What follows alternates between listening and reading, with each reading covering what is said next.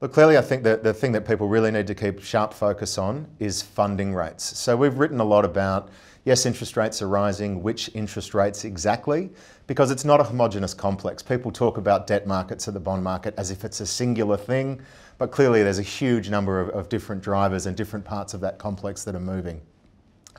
It's those short dated interest rates that drive funding, that drive you know, where, where we can borrow money to buy houses and what our credit card costs are and those types of instruments that really, really matter. And so we've had a pretty substantial rise in those interest rates in international markets of late.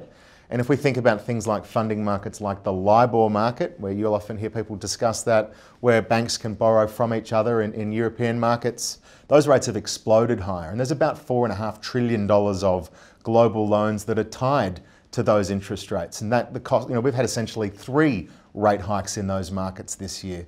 And this is some of the unintended consequence of the Federal Reserve raising interest rates. Clearly, you know, these funding rates rise and it does start off a very slow uh, rolling snowball of credit delinquency for those that are sailing too close to the wind.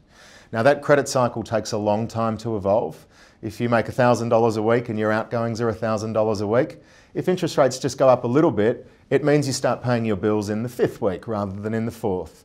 And as interest rates continue to creep up, that delinquency starts to grow, but it grows nevertheless. And so, uh, what, you know, what we tend to find is that people don't really look at it too much, and then all of a sudden you get a very asymmetric repricing in risk markets as bad and doubtful debt provisioning and those types of things are entered into valuations. And we can see how quickly that can happen. We saw it recently with uh, the Macquarie Infrastructure Fund in the States, quite levered, needed to provision for higher funding costs and trades off you know, 40% in a single session. So I think investors need to focus on this space because it moves slowly, but the outcomes can be very pronounced and they can be very quick to come to market. It really is an up the staircase, down the fire pole type pricing moment.